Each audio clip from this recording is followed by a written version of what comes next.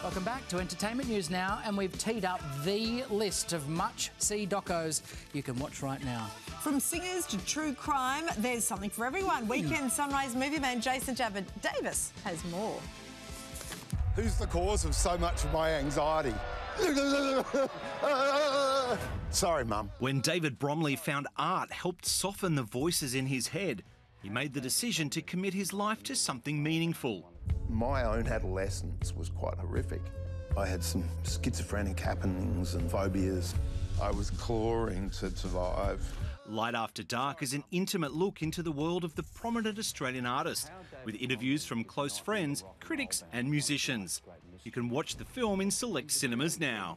He's iconic. He's everywhere. Everyone wants a Bromley. His work is just purely decorative.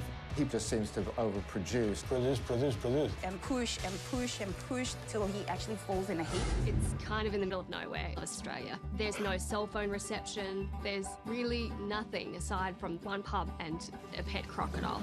Set in the Australian outback in the tiny town of Larrimah, a very small community of only a few dozen people. He has a habit of biting. it was just a whole hippie thing going on. My sort of place, you know. There we go, folks. That's where Paddy used to live. But when one of them mysteriously disappears into thin air, the remaining residents become suspects, and the town's dark history is unveiled. You can catch Last Stop Larrimah Murdered Down Under on Netflix. What's your relationship with Paddy? Did you knock Paddy off? Where's Paddy's body? Do you know what happened? Are you involved? I don't know nothing. It's astounding what's happened in my life. He's one of the most successful UK recording artists of all time, and now a four part Netflix documentary is taking fans backstage.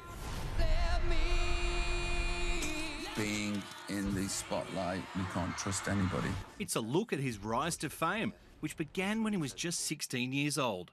With hundreds of hours of never before seen personal footage and intimate access to Williams himself. I don't know how easy it is for people to get to know me. Who loves you? Mummy. Yes! Yeah. Who is this man? What does he mean? Who knows what's to come?